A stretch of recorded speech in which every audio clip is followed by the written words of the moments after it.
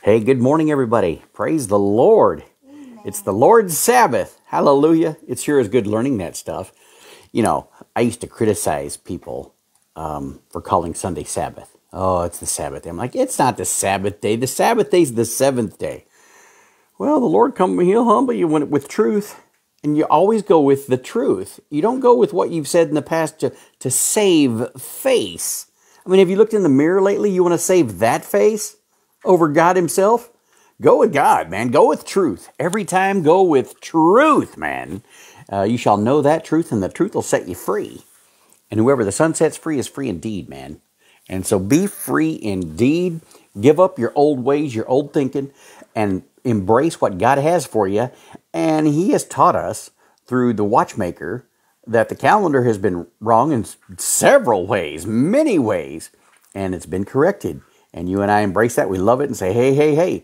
And speaking of that, we begin our 360 day count, Passover count tomorrow. And Yolanda is going to be uh, setting that up for us. And what's cool about us over here in the in the westernized world is um, it'll be up when we wake up in the morning. She'll have it posted, man, because she's down there in South Africa. Be posting it right alongside of our other postings, and uh, catch those every day. Catch everybody who posts, guys. Aaron shares the Bible codes and other great stuff every day. Yolanda, Heather, Cush, Gary, Josh. I mean, the list goes on, guys and share these things. Share, share, share. Uh, you came on at 1111 here. now, faith is the substance of things hoped for, the evidence of things not seen. 1111 or 111, triple one is the fear of God. Amen. God's awesome. 1101. 1101 is when we came on. Praise God, 1001 here. We got a 1001. Amen. Binary code. And we mentioned last night what could God do with, you know, two, three, four, five, six, seven, eight, nine in his code. Right on. If ones and zeros can do all that on your computer, wow, God can do a whole lot more with two through nine and then some. Hallelujah. We love that. Kim says, Good morning, family. Looking up. Abba up. Praise God. Abba up. Papa. Abba means Papa. That's what the month of Av means. So, uh, when you hear the V or the B, they're interchangeable many times in Hebrew letters, Hebrew town. Okay, uh, the month of Abib is also the month of Aviv, like Tel Aviv, and Av and Ab, father, Abba. All right, so praise God for that. Hey, uh, we began studying the Book of Kings, man, last week. Why don't we go ahead and continue in that? I want to give you a suggestion uh, maybe get around with your family before church starts at 10 o'clock my time, 11 o'clock Eastern. And why don't you get you a half hour's worth of old hymns playing and y'all sing together? Sing those old hymns, even if it's 15 minutes. But just get those hymns a going, teach those kids the hymns. Get them out, get them typed out, whatever, bring them up on a computer screen while it's playing and sing along, man. Sing the hymns, sing the hymns. Get ready, prepare your hearts. You, you got to prepare the table. You got to have a plate ready for me to drop the meat on. Okay? Get your plates ready. And so many people don't have their table set. And uh, I encourage you to have your table set. When the Lord comes to bring you some bread and some meat, you be ready for that to plop right on your plate and then get you a big boy fork and knife out and chew the meat up, man. Okay? And the meat of the word, meat of the word. I'm going to grab me some water here because that's what I do, you know.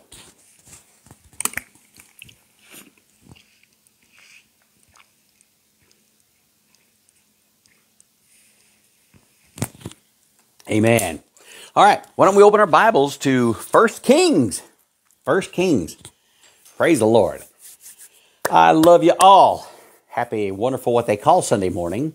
Diane, good morning, Jonny. Good morning to you, sister. God bless you. Love y'all. Love that whole Stickney gang. Tell them all I love them. Heather says, yes, the old timers knew it. They were always singing about the rapture and praising God. Amen. And guys, when you look at Heather's posts, she she'll post those old hymns. Uh, get her post downloaded. Of course, she posts the uh, uh, countdown as well. And so uh, and her she puts a lot of work into that drawing board, man. So praise God, I love it. I love it. I've I've loved watching those clusters form, the clusters of grapes. Amen. All right, why don't we read? Why don't we pick up where we were last week? Get our minds in the heart of it all. Uh, why don't we go back to chapter 15? Chapter 15, 1 Kings 15, and we'll talk about Asa for a little bit because Asa was the guy who reigned for 41 years, and in his tenure down in the south, the southern kingdom, Jerusalem. Meanwhile, up north began Jeroboam and then his whole bunch. Uh, in the whole, the whole life of Asa, he had seven kings from the north. One of him for 41 years and seven of them. Four different dynasties, all right? Uh, Jeroboam and his son Nadab, Baasha and Elah, Zimri, Omri, and Ahab. That was the kings that were up north while Asa was busy in the south. Now, Asa was a man of God. Asa was a man of God. He was, it was Solomon and Abijah and Asa. Okay? Uh, Solomon, Rehoboam. Solomon, Rehoboam, Abijah, and Asa. Now, Solomon went wicked at, at his latter part, but kind of like on his deathbed, he gives us, guys, remember now thy creator in the days of your youth. Okay?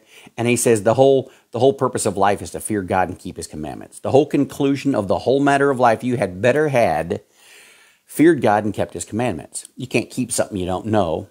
And what, what that means is keep him in highest regard, love his word, love in the beginning God created the heaven and the earth, all the way to, and the grace of our Lord Jesus Christ be with you all, amen. And love every word in between that, knowing there is a hidden text and knowing there's more than that. And we, we don't have the capacity to get it until we get to heaven. And it's going to be mind blowing, man. The word of God, you, you think it's just eh. The kings of the north, the kings in Israel, and, and was also called Ephraim and Samaria. They didn't care one thing about the word of the Lord. They didn't know, man. And the word they had was powerful enough. They didn't have the entire Bible, but what they had was enough. And what was encoded there was enough. And the rest of it was already recorded in heaven. It was there. It was it's on its way, man.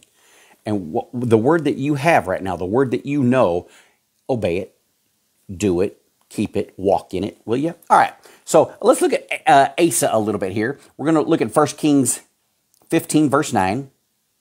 And in the 20th year of Jeroboam, remember, Solomon had a foreman that worked under him. He was in charge of all his building projects. Trump's number one guy, kind of a thing. Solomon's number one guy, building all the projects. And the man knew that Solomon's heart was going wicked, wicked, wicked. And he said, Oh, forget this, forget this. And he rebelled against him. And then his son, Solomon's son, after he died, becomes king, Rehoboam. And Jeroboam comes to him and says, Hey, bro, we're willing to follow you if you're not like your dad. And the old men said, Don't be like your dad. You be like your dad in the younger days. Don't be like him in the older days. And then he said, Well, let me go ahead and talk to my young men. And they go, Oh, man, you're the king. You're the boss. You, you treat them with scorpions. You sting the crap out of them. You, you whip them with belts. You, you put them in line and you tell them you're going to do so. And Rehoboam went back and told Jeroboam that, and Jeroboam's like, see ya, and took 10 of the tribes with him up north. Then Rehoboam has Abijah, and then the son Asa. And finally, Asa, ha- Asa had a good mama that raised him. It's always these, see, when the kings would sire their children, they had several wives, concubines, whatever. The mothers would raise them. The mothers raised the children. And when it came time for Asa, he had a good mama that raised him, and she taught him in the ways of the Lord. And the, the conclusion of his matter is he did that which was right in the sight of the Lord. And I want to look at that. We're in 1 Kings 15, verse 9. And in the 20th year of Jeroboam, after Jeroboam had split from Rehoboam, Asa finally becomes king, okay, down in the south uh, over Judah. Verse 10. And 41 years he reigned in Jerusalem, and his mother's name was Maacah, the daughter of Abishalom. Now, that's important. I don't know nothing about her, but God wanted us to know that that's who his mama was, and we're probably going to meet her in heaven, I believe. Okay, mamas are very important. You mamas, you're important. Bring your children Jesus. Don't bring them stupidity and don't bring them uh, sinfulness and don't bring them sports and don't bring them gods. Don't bring them music. You bring them Jesus, man. Amen. And so his mother's named here, and she's a very important gal. And I believe when the roll is called up yonder, her name will be on that roll. Amen. Verse 11 And Asa did that which was right in the eyes of the Lord, as did David his father. David his father? Well, you had to skip generations. Remember what God counts? He only counts the righteous generations. So it was David and Asa. But what happened to, you know, Solomon, Abijah, Re- Rehoboam, Abijah?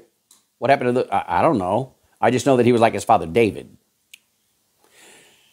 That's the genealogy in heaven, guys.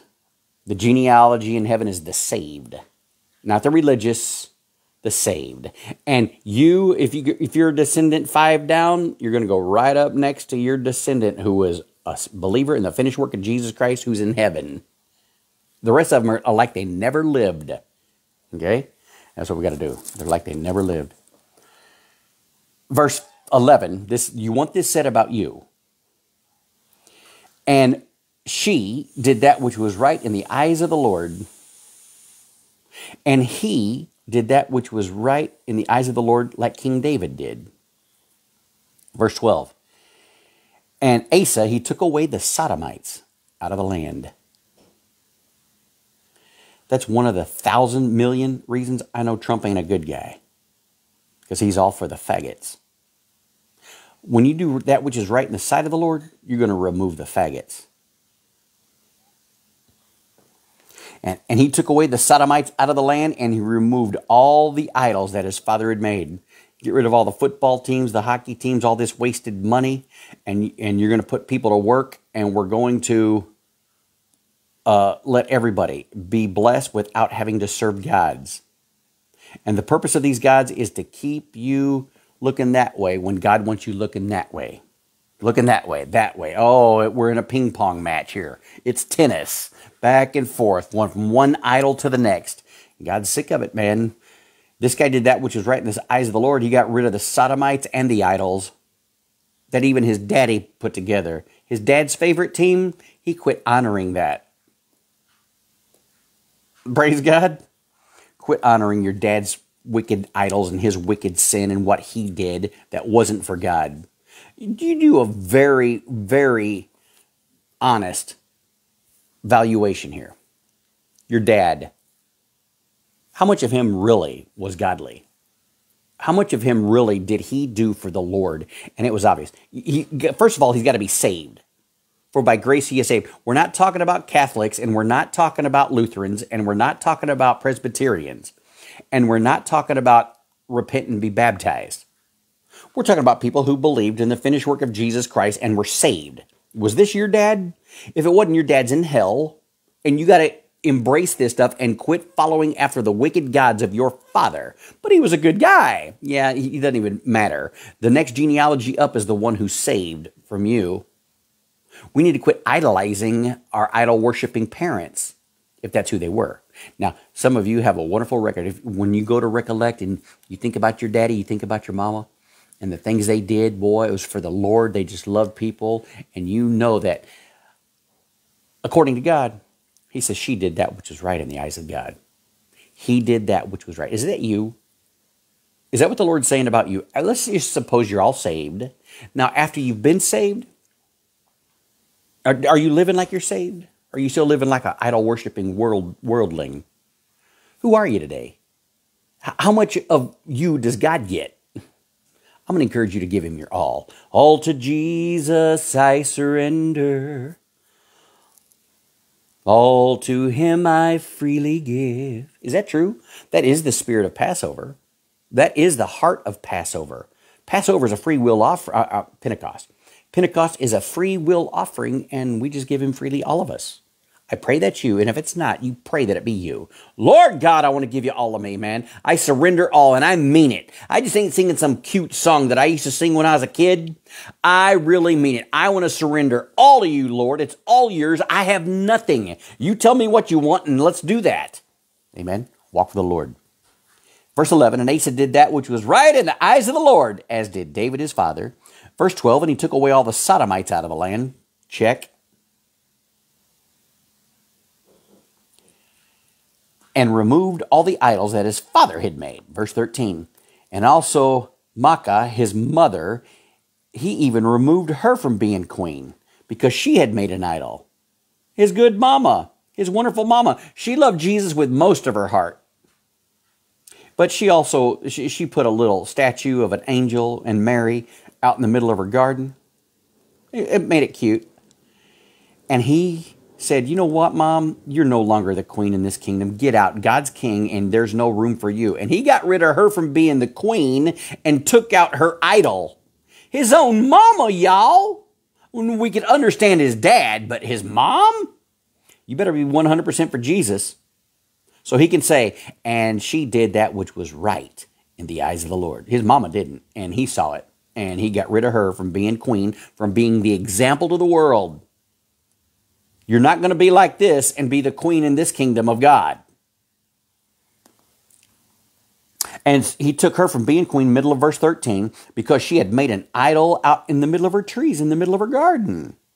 And Asa destroyed her idol and he burned it by the brook Kidron. And that's where Josiah later, his descendant, that's where he burned all the stuff got rid of all of it and went down got rid of all the gods, cleaned up the temple, cleaned up the place, got rid of the sodomites himself. Boom. Right down there at Brook Kidron. And guys, when Jesus was doing the Last Supper, and they completed, they sang a song, and then they went out to pray, and they crossed over the Brook Kidron, where all the false gods had been chopped up and severed and destroyed.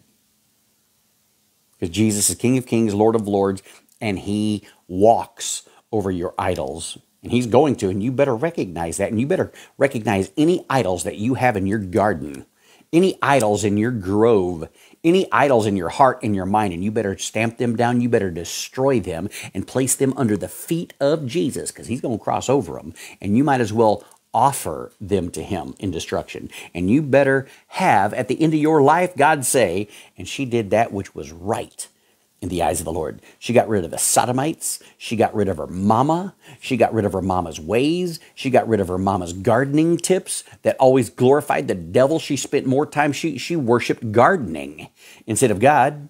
And we're going to encourage you to worship God instead and make him your everything. Amen. Verse 14, but the high places he didn't remove. He, he kind of, he loved the Lord. He did that which was right in the eyes of the Lord, but he didn't take care of all the business. He should have got rid of the high places. And he didn't.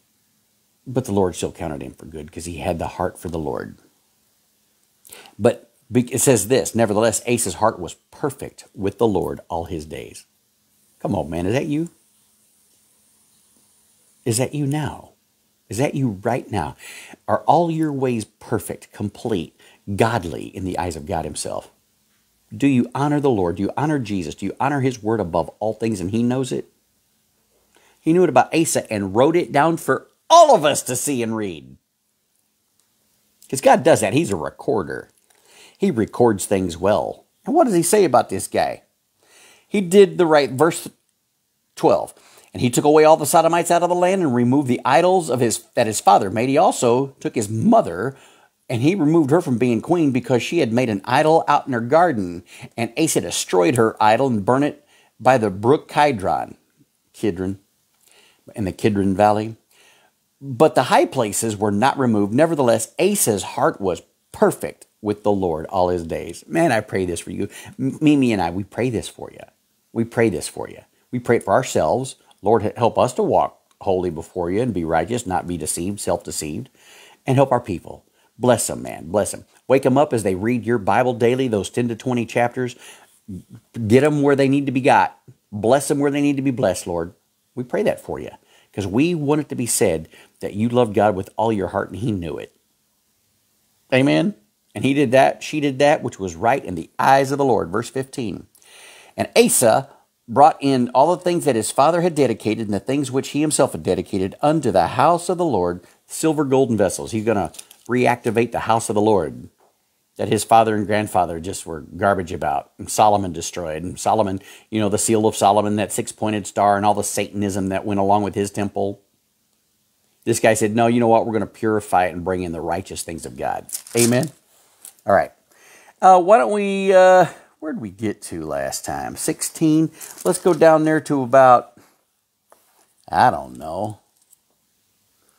Verse 15. We're going to be in 1 Kings 16 15. And in the 27th year of Asa, now here we are 27 years later, Asa ruled for 41 years, and there were seven kings in the north that ruled and died and were murdered and cast down and everything in that same progress, in that same time frame. In, in the 27th year of King Asa in Judah, and Zimri reigned for seven days. Remember that? He uh, did a coup, killed the king, come in there, and he only reigned seven days, and the people caught wind of it, and they said, What? He's the one that killed the king? And he was in Tirzah, and at that time, before Samaria was Tirzah. Samaria is the capital of the north, but before that, it was Tirzah. Okay? And he reigns uh, only seven days in Tirzah, and the people were encamped in Gibbethon, which belonged to the Philistines. And the people that were encamped heard say, Zimri is the one who conspired, and he's also the one that killed the king. Wherefore all of Israel said, Oh, Omri. Now, Omri was the captain over uh, the Lord's host, okay, over the armies, okay?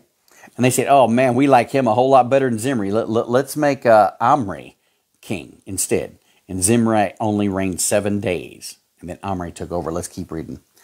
Verse 17 And Omri went up from Gibbethon, and all Israel with him, and they besieged Tirzah, the capital. And it came to pass when Zimri saw that the city was taken, he's the guy that reigned for seven days, he went into the palace of the king's house, and he burned the king's house over top of him, committed suicide, and he died. For his sins which he sinned in doing evil in the sight of the Lord, in walking in the ways of Jeroboam. Asa could have walked in the way of his wicked father, but he didn't. He walked in the ways, the teachings of his mom, and he began to study the workings and the ways and reading the scriptures of his daddy David. When you begin to read 1st and 2nd Samuel and the Psalms, it'll change things in you. Or it won't. We encourage you to at least read it. If you'll read it, God can do a work in you. He, he bases everything on, on your knowledge of the scriptures. You know something, and the Holy Spirit will guide you through it and teach you.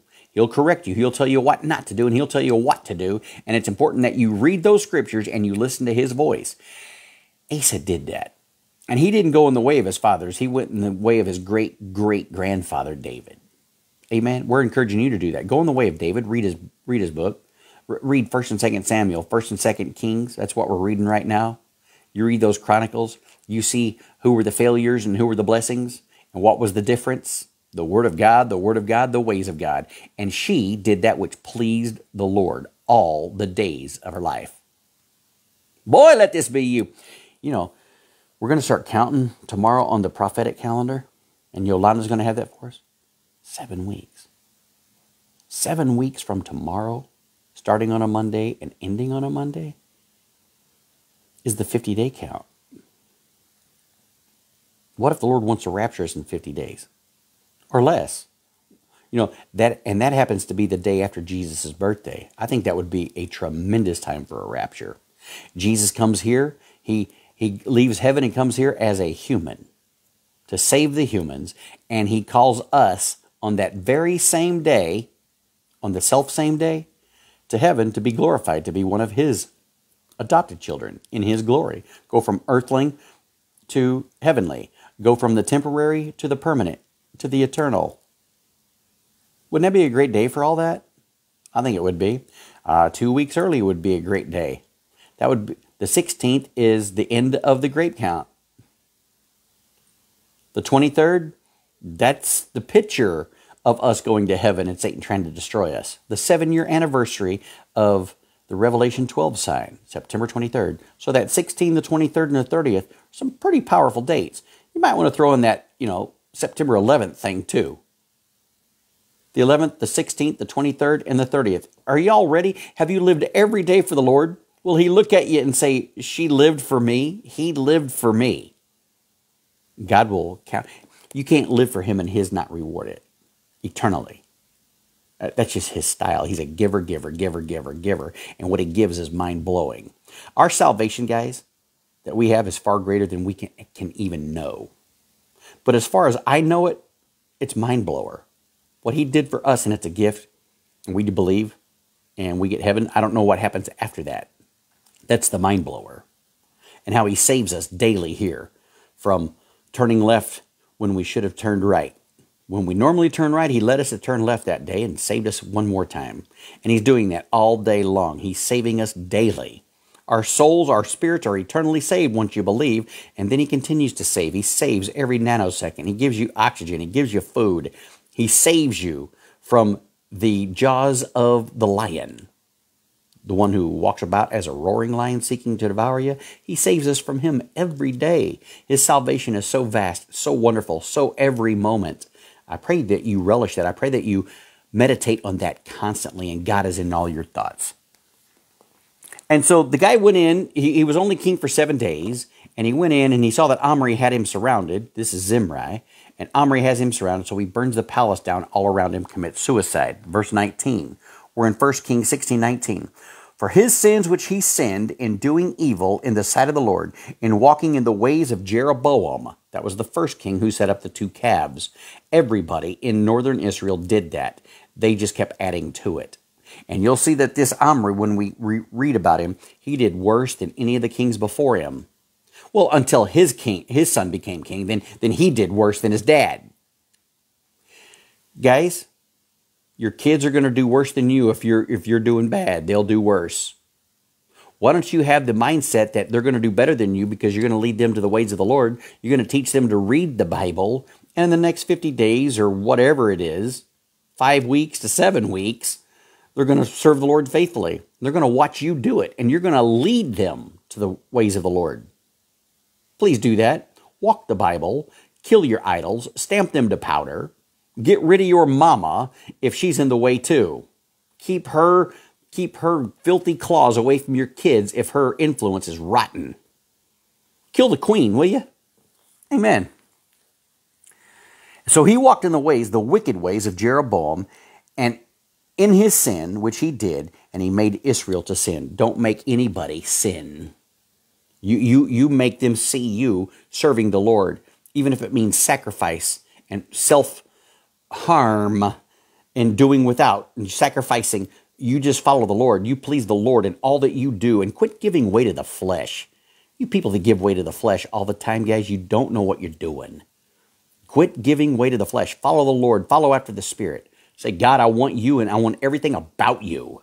And the reason you are up and down, the reason your life is like this, is because you're double minded, you live in the spirit and you live in the flesh, and you're unstable in all your ways. A double minded man, flesh, wait, flesh, spirit, flesh, spirit, flesh. You see this? This is unstable. This is stable. That holy high place of God, the holy plateau of God, Psalm 15. We talked about it last week. I hope you read it. Hope you're walking in it.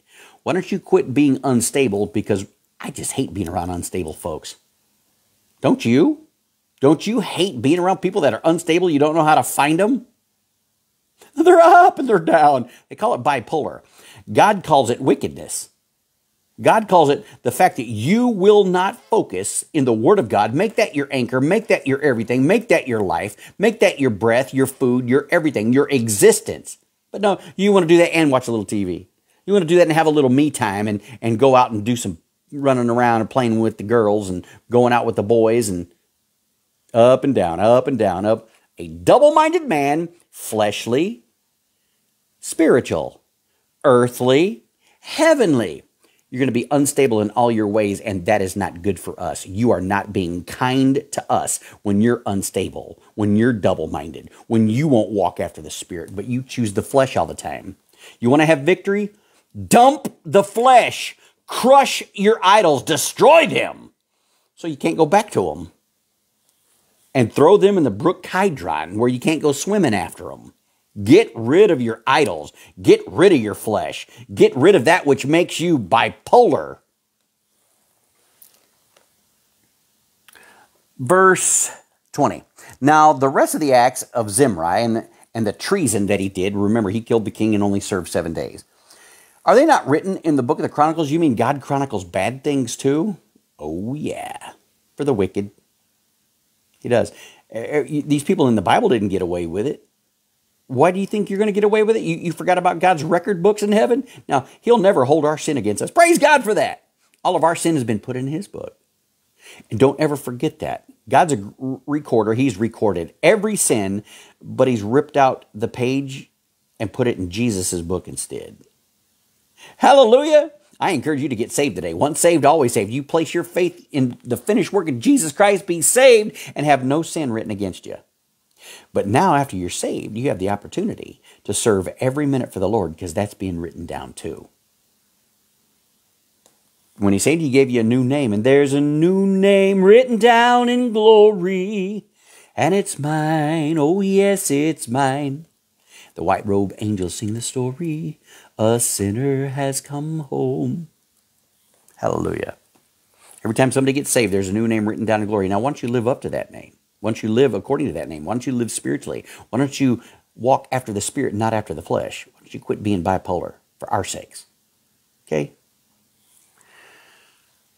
Verse 21. Then the, were the people of Israel divided into two different parts. Half of the people, they wanted to follow Tibni, the son of Ginneth, to make him king, and the other half wanted to follow Omri. So the king kills himself. He burns the palace down around him, Zimri. He, he only uh, was there seven days.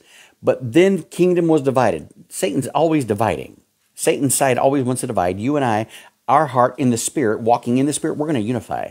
We can't help but unify when we're walking in the spirit. But when you're walking in the flesh, there will be division.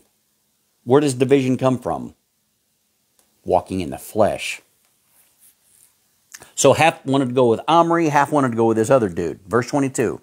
But the people that followed Omri, they were stronger and they prevailed against the people that followed Tibni, the son of Ginneth. So Tibni died, and that means their army overcame the army. They had a civil war going on. Good morning, Pastor. Hey, good morning. God bless you. Hallelujah. Right on, says Heather. Verse uh, last part of 22, so Om- Omri reigned. He killed off his competition. The civil war was over. Omri becomes king. They probably kill off all the guys that were mouthy and vocal and killed all those off. And then the loyals stayed faithful to Amri. And now Amri. this is the fourth dynasty already. He's the sixth king. Ahab is the seventh to rule during uh, Asa's day. And Asa is still over there serving the Lord, 41 years of it. Praise God.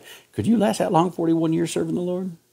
Or would you have to go back like Solomon did? I just got to chase the flesh. I've probably missed out way too much in this world. I'm going to divorce my husband because he just ain't giving me what I need. I, I feel I need more. I need to travel the world. His little paycheck just ain't enough. I, I need to get out there and I just, I've fallen out of love with him. You've fallen out of love with Jesus and you love yourself. You're a Satanist. You're a devil worshiper. You love yourself because people walking with the Lord knows that he hates vow breaking and we're going to do everything to keep this covenant, man. We're not going to let the devil in. I'm not going to let my own wicked heart in. We're going to cast down the idols of my wicked heart, my thoughts. The thought of foolishness is sin. I'm going to read that Bible. I'm going to walk in that Bible and I'm going to be solidified in that thing. People around me is going to know it. They're not going to, worrying, oh, how do I expect to find her today? Walking on eggshells around you, the spiritual saved one? What kind of crap is that?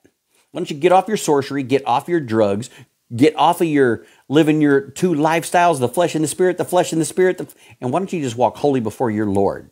Burn all your idols and come to the Lord and have Him say at the end of your 41 years of being saved, Boy, she did that, which was great in my eyes. I love it. Here's some reward. You ain't going to do something great in the eyes of the Lord. You're not going to walk honestly before Him and His not rewarded eternally.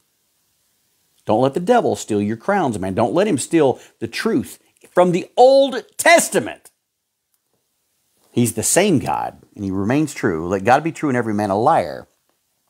So here we are. We got Omri reigning. Verse 23, we're in 1 Kings 16 23.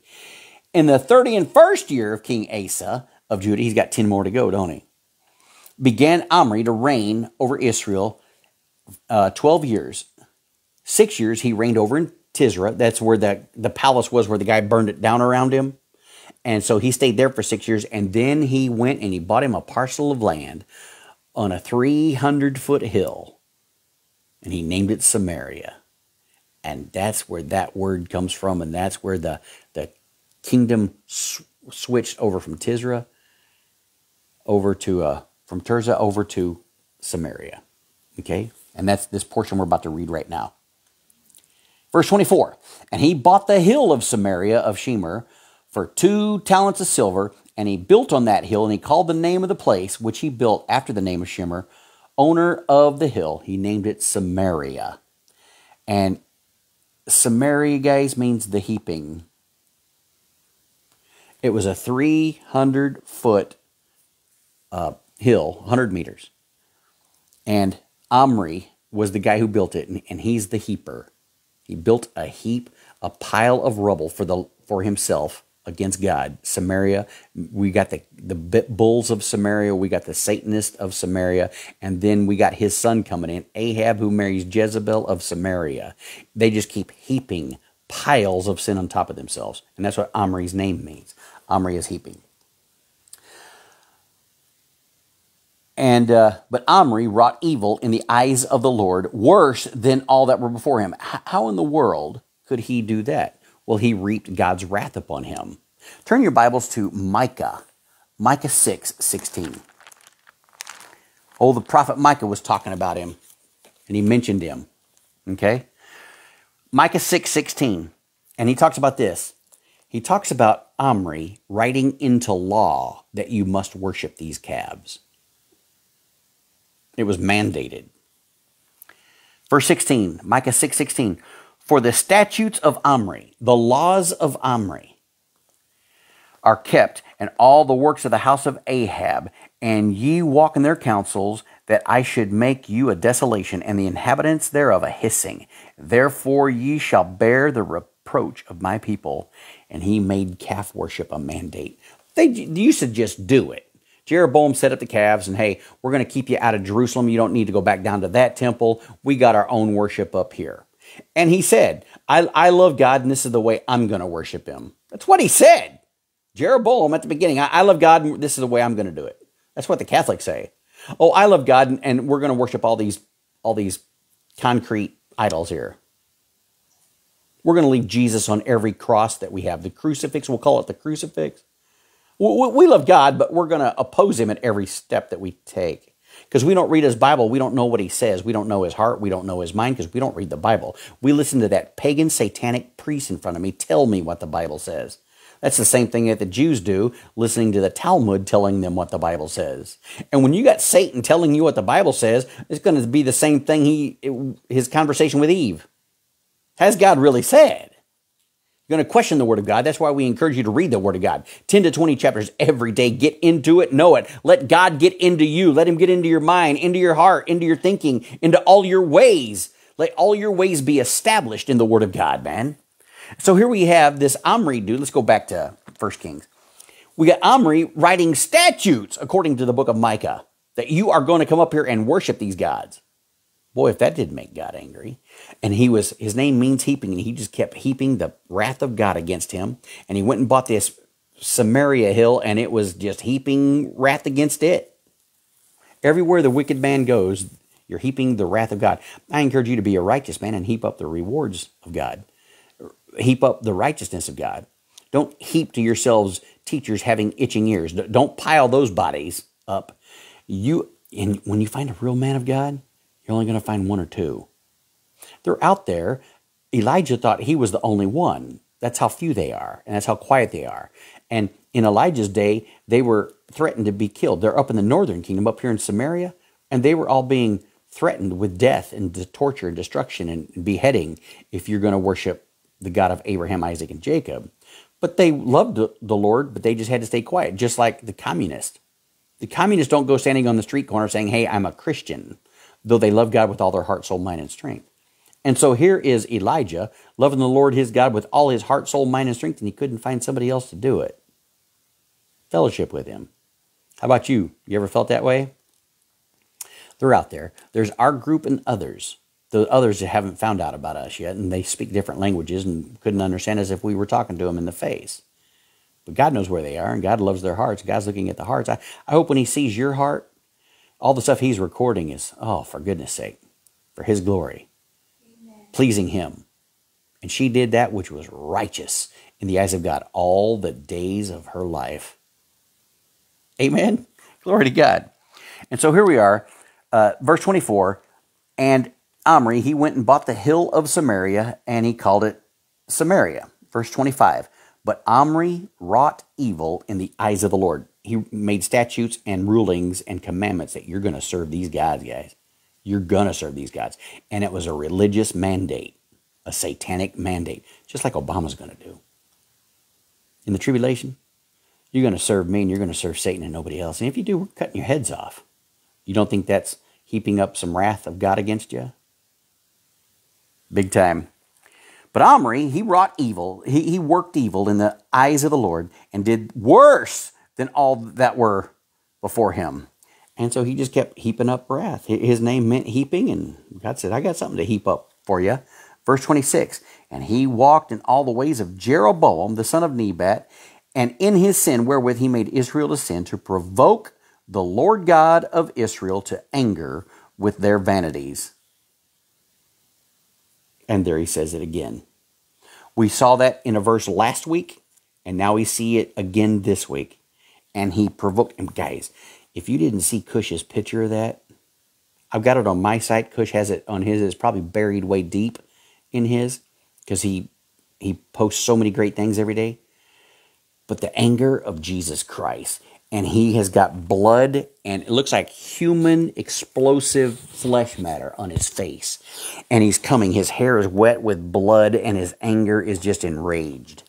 People don't see Jesus like that, but the Bible describes him like that. You better understand that he is provoked unto anger by the vanities of these people. What is the vanity?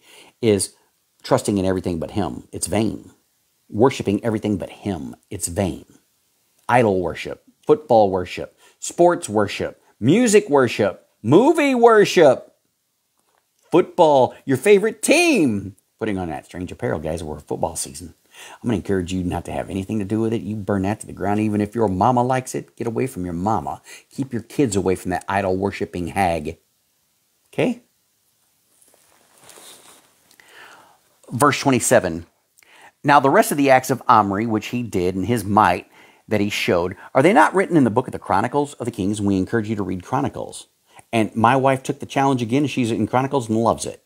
There's some great stuff in Chronicles, some of the same stuff about these kings, intricate details, uh, the heart of God. You'll notice that when they follow the Lord, blessings, blessings, and when they don't, cursings, cursings. Simple. It's what we've been preaching here every service we preach. Amen. Follow the Lord Jesus Christ. Walk with Him. Read His Word. Love His Word. It's not at all written in the book of the Chronicles, so go read the Chronicles. Verse 28. So Omri died. He slept with his fathers. Hey guys, if you're going to go to sleep with your fathers, make it the heavenly bed, not the hell one. Don't make your bed in hell.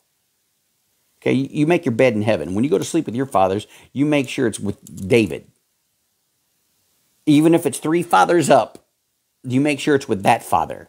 You make sure it's with the Holy One who walked with Jesus Christ and believed in him and trusted in him by faith. Amen. Verse 28 So Omri slept with his fathers. He died and he was buried in Samaria, the place he just bought to bring Satan all the glory, a high hill, 300 feet high. That's a football field, guys. A football field high was this little hill out there in the middle of everywhere. And Ahab his son reigned in his place. Oh my goodness. Verse 29. And in the 30 and 8th year of Asa, he's still going. Gonna, gonna reign 41 years. King of Judah began Ahab the son of Omri to reign over Israel. And Ahab the son of Omri reigned over Israel in Samaria 22. Write that down. 22 is revelation, 22 is light. And this guy was the everything opposite of Jesus Christ in Revelation, the 22 chapters, he was more like the Antichrist of those 22 chapters. Satan himself. And he reigned 22 years in Samaria over Israel. Verse 30, we are in 1 Kings 16:30. And Ahab, the seventh king of Israel, the son of Omri, did reign in the sight of the Lord above all that were before him. He did evil in the sight of the Lord above all that were before him. I thought he just said that about his dad. Yeah, well, the sons get worse and worse and worse. Dad, what kind of an example are you in front of your kids? And I mean this. Do they see you cheering for your favorite team? Do they see you sitting down with that beer and watching your favorite show every night? Is that what they're watching in you? While you take them to church on Sunday and say, Oh, we just love the Lord. Hurry up and get in the car. We got to go. How are you representing Jesus in your home, Dad? This goes way beyond your reading 10 to 20 chapters every day. This goes to you living out your 10 to 20 chapters every day. Because your son is going to do far worse than you're doing if you're doing bad, if you're doing evil in the sight of the Lord. Oh, but I'm saved. Saved people do evil all the time. Some of the best hugs I've ever had by Christian brothers was in prison. They know how to hug you in prison. They bikers, Christian bikers, unchristian bikers, they know how to hug you. It's your own cousin who's supposed to be saved that don't know how to hug you. Weird. This whole United States is jacked up, messed up, guys. Okay? I'm going to encourage you not to lead your son to prison. We may only have seven weeks left on this planet. But don't lead your son to prison in the meantime. If he were to keep following you in the same trajectory for the next 41 years, don't lead him to hell. Don't lead him to the couch.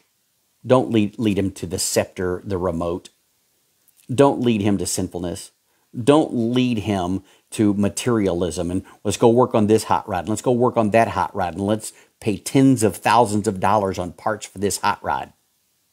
I'm teaching my son to be a man. Why don't you teach your son to be a man of God instead? Brethren, now are we the sons of God. Why don't you do godly things with your kid? Take him fishing, that's godly. Teach him about the Lord Jesus Christ. Take him hunting, that's godly. I mean, you got to hunt, you got to fish to eat, right? Why don't you do it to the glory of the Lord? And why don't you let your car be your tool instead of your boss?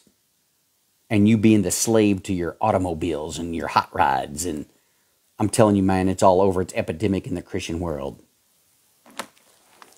Oh, but we're glorifying the Lord when we get to the track with all them naked women. We're, we're glorifying the Lord with all those drunks. Yeah, we're out there praising Jesus.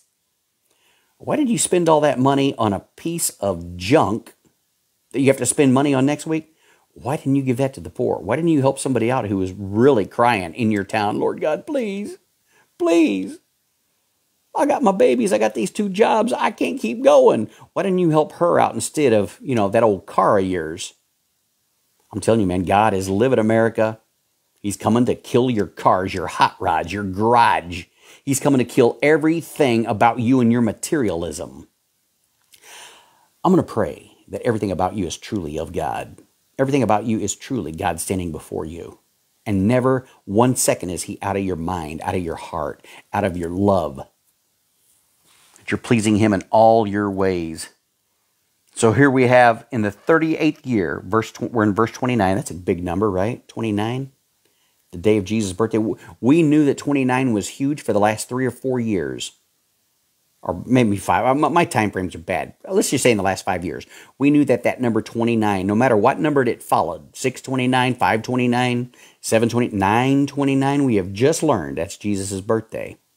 We've always known that's a powerful number. With God, God has presented it. You, you need to pay attention to this number. You need to pay attention to this number. And here we are in verse 29, so let's pay attention. And in the 30 and 8th year of Asa, king of Judah, Ahab, the son of Omri began to reign, and Ahab, the son of Omri, reigned over Israel in Samaria 20 and 2 years. Okay, I'm paying attention now. I got the number 29 here and the number 22.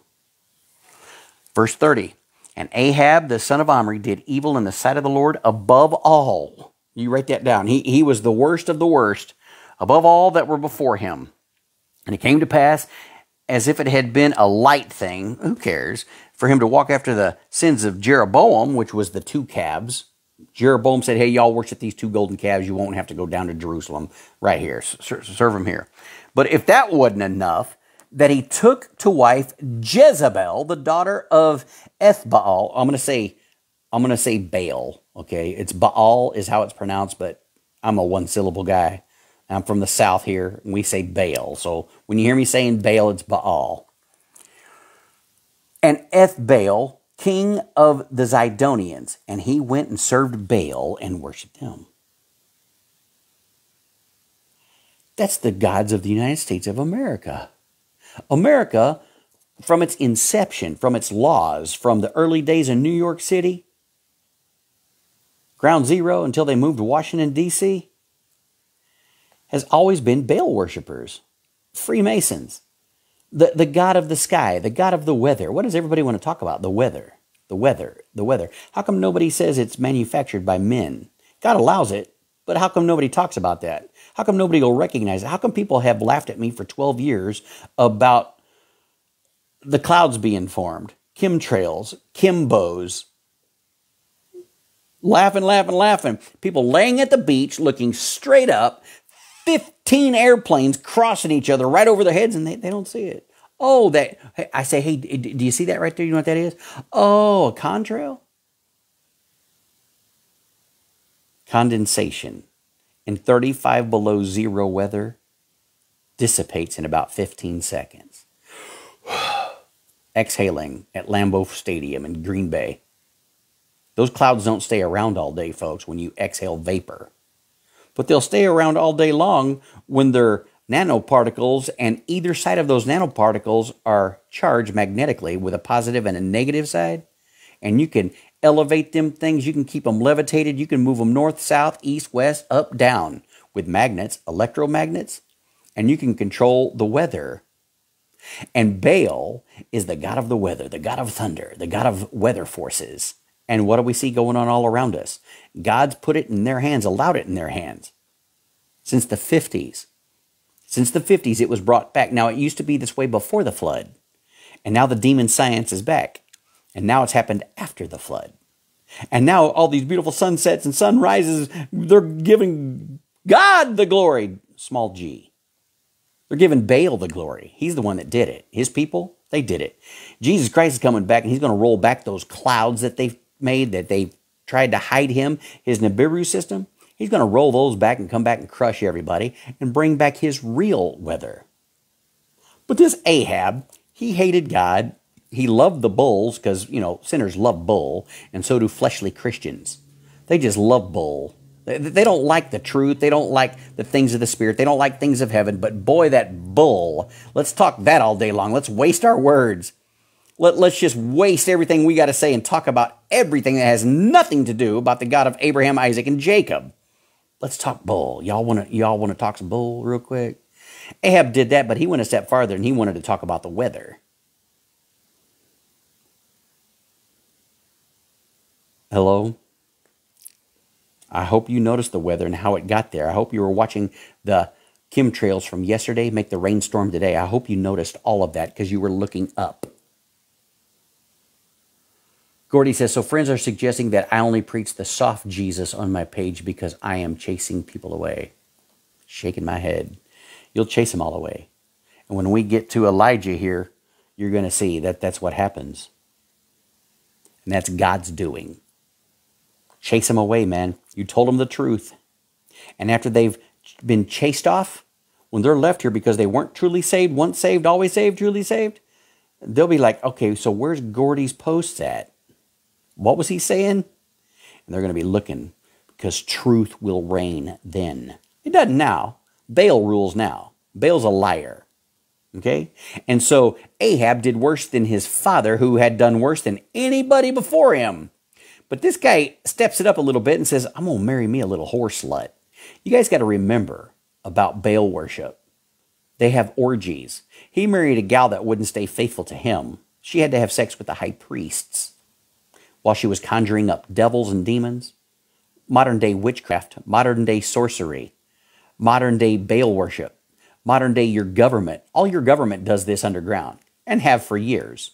Benjamin Franklin was doing this in France, the Hellfire Club. Read about it. Whoredoms, debauchery, drunkenness, nakedness. This has been the leaders of your, the writers of your Constitution.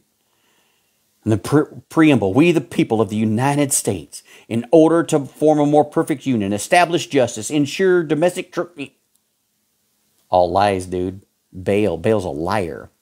Let our God be true and every Baal a liar.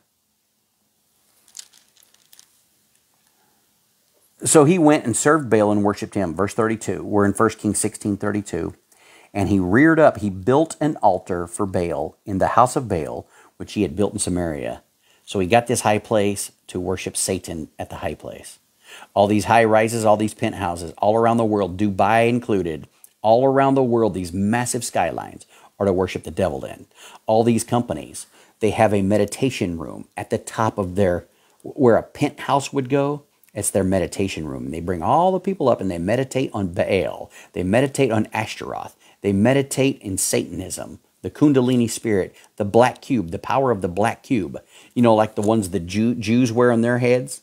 You know, like the one, the, the black stone in the Kaaba. They walk around the Kaaba down there at Mecca, that black cube, the black cube at the United Nations meditation room. They all got this. That's the cube of Saturn. That's the cube of Satan. That's what everybody in your government worships. We stand here alone. I'll run all them off and I'll defy them. And we say we believe in the finished work of our Lord Jesus Christ, and Jesus Christ alone is God. There is no God beside him, and we stand up in the face of all this. But this guy, he did worse than his father, and he reared up an altar of Baal, which he had built in Samaria. And Ahab, verse 33, we're in 1 Kings 16 33. And Ahab made a grove. He planted a bunch of trees. All these tree hugging folks. You got to ask, why, are, why do they love trees so much? Because they believe in the power of the tree. They believe in the power of the nature god, Pan, who is Satan. And they got to have these trees all around them, these groves, because God said, burn the groves down, cut the groves down, get rid of all these places that they've turned into idol worshiping gardens and get rid of them. And the wicked will come in and plant trees instead. You see that Israel does all that, planting trees, planting trees. That's not the Israel of God doing that. That's not the Israel of Abraham doing that. That is the ones who say they're Jews and are not. They're of the synagogue of Satan. Let's plant some trees. Let's just plant more trees and trees and trees because they plan on putting idols in all those trees. They plan on putting up the statue of Barack Obama here shortly. And everybody around the world is going to have their groves and their trees with a statue of Barack Obama there. Verse 33 And Ahab made a grove, and Ahab did more to provoke the Lord God of Israel to anger than all the kings before him. You know that's happening right now. You know that's happening with pastors in the pulpits. They've built up their groves. They got false gods, false idols everywhere. And they talk about them in the pulpit. They're not afraid of telling you about their favorite race car driver. And just talk about him and, oh, build him up and encourage. They're all of the devil about their favorite football team and their favorite football star. It goes on and on and on. My wife and I, we were at the Jason Aldean concert last night. You guys don't know that that guy's a Satanist. You don't know that he's a Freemason. You don't know that he was the setup for that assassination in Vegas. The largest kill, kill zone we've had in the United States of America on Route 91. You don't remember any of that? His tattoo? 21, Blackjack, J.A. Jason Aldean, Joker, and the Ace. The pastor's glorifying that stuff. Building groves, baby, B- building idols in your grove. And God's sick, and he's they're doing more to provoke God to anger than the pastors that were before them. Verse 34 In his days did Hiel the Bethelite build Jericho. Uh oh. What did Joshua say? Let's see, Joshua 626. Joshua 626. After Jericho was destroyed, God did the destruction of that. Uh, Josh says, Man, I don't know if I've ever stated it. There's a church here called The Grove. I guess they don't read their Bible, or else they wouldn't call themselves something God hates. Amen. Amen, dude. Got witches running that joint witches have infiltrated the church and they have changed the doctrines of Scripture little by little by little from the light of the gospel, the light of Jehovah, to the light of Satan. Just to fade away. They didn't fade to black, they faded to light, just the false light. They went from light to light, and the people who don't read their Bible didn't know it was a fake light. Mm. Good word, dude. Uh, what does Joshua 6.26 say? And Joshua adjured them. He, he affirmed them. He told them right in their faces, saying, Cursed be the man before the Lord that even attempts to raise up and build this Jericho. And he shall lay the foundation thereof in his firstborn, and in his youngest son shall he set up the gates of it. So the Lord was with Joshua. So Joshua sent out this curse whoever tries to build this up, your two sons will die. And what do we see over here at the very last part of 1 Kings 16? And in the days of Ahab, verse 34, did Hiel the Bethelite build Jericho, and he laid the foundation thereof in Abiram his firstborn. The Canaanites had a practice when you built a wall, you took your child and you buried him alive in the foundation of that wall to give you strength and power. And here we have this happening in Israel. Israel that was Canaan but had been cleaned out, right? And the ways of Canaan came back. And Joshua was a book not too far back there in the past, and they hate him. He was the successor of Moses, and they hate Moses, the book of the law. They hate Joshua. They hate the commands. Whoever tries to build Jericho, your two sons will be wiped out. And this guy began to build it, and his two sons were wiped out one at the foundation and one at the gate. And that's what they would do. They would bury their sons for power and prestige, and they sacrificed their own sons to build this wicked place. And Joshua said that's what's going to happen, and it did happen just according to that. And there is no Jericho yet. In the Bible, in Jesus' day, we see, and they came to Jericho and they came out of Jericho. That was a new Jericho. It wasn't the old one. It was like where I live, you got Memphis and West Memphis. Memphis is Tennessee, West Memphis is Arkansas. They're called the same name, but they're two different towns. And that's what people, uh, he went into Jericho and he came out of Jericho. It was the brand new Jericho. It's not this one that God cursed through his son. You know, Joshua is Jesus, right? Yeshua. And the final verse here, we'll call it a day. So the two sons were killed. His youngest son, uh, Segub, according to the word of the Lord, which he spake by Joshua, the son of Nun. God's going to do everything according to his word. And you had better walk it, you better live it, you better walk it out and act it. They actually have some dark things happening behind the scenes uh, that I've heard. Things like known witches hosting daytime daycare and drug cover ups. Dude, that's what they're going to have. Everybody who opposes God, just like Ahab did, are of the devil. All these churches, they'll say Jesus, it's a different Jesus. And they'll always call God Yahweh. The Father, they always call him Yahweh. That's when you know the Canaanites have taken control of it. Jesus' name, God's name, the Father, Yod-Heh-Vav-Heh, Jehovah, Jehovah. Jesus, Yeshua. Probably an Illuminati plant. That's what's going on there. Illuminati purple. It's all at your Paris. They've they're all out from under the ground now and have been for years, guys. They have passed the point of no return and they know it. Only the rapture saves us. If the rapture wouldn't happen, we'd all be dead. We'd all be beheaded. They'd kill us all. But God is into saving his people.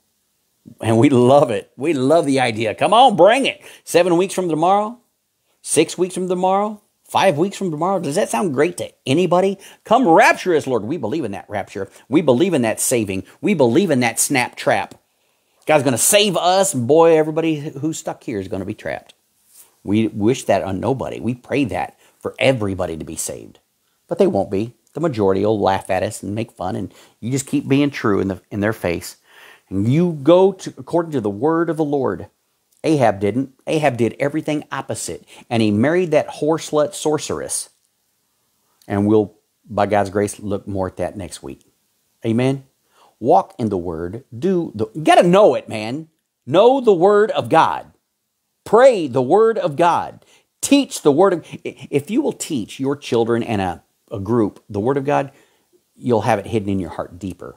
It'll be deeper in the crevices of your brain. Because when you're saying it, faith comes by hearing it.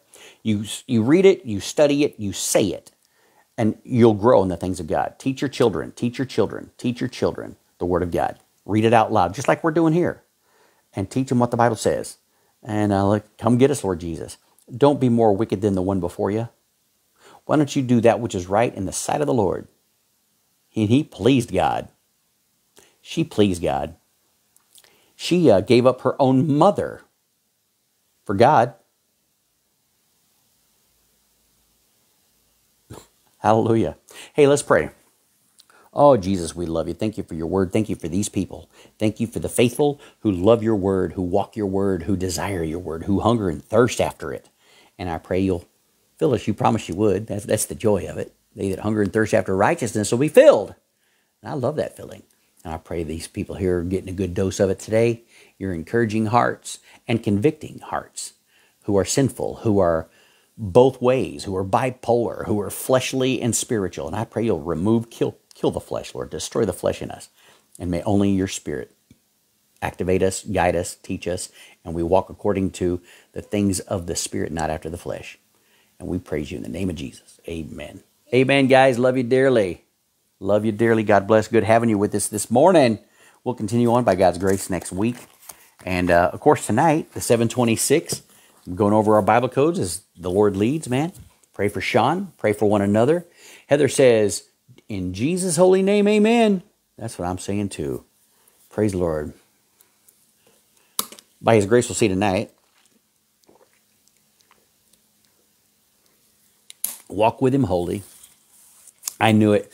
This uh, always takes a long time for you guys to respond. That's just what we do. But amen. Amen, says Erwin. Amen, says Aaron. Sister Aaron, praise God. Yolanda says amen. Donna Bell, amen. Awesome sermon, brother. Praise God, man. Amen. Thank you, Lord Jesus. Hallelujah. God's good, guys. And uh, walk with Him this week. Destroy your idols. have God identify your idols. Lord, what's in my heart? Or Is there any idol that I have that I have not crushed, that I have not destroyed, that I've not given to you? Am I walking in the flesh in any way? Kim says, I never learned more about history, explain so much, and present day reality and His Word than we have here. Amen. Praise God, dude. That's what we want. We want to encourage you and teach you things all Bible. Amen. Josh says amen. Savio says amen. I'm so thankful for you, brothers and sisters. God bless you. And by His grace, we will see you at 726 tonight.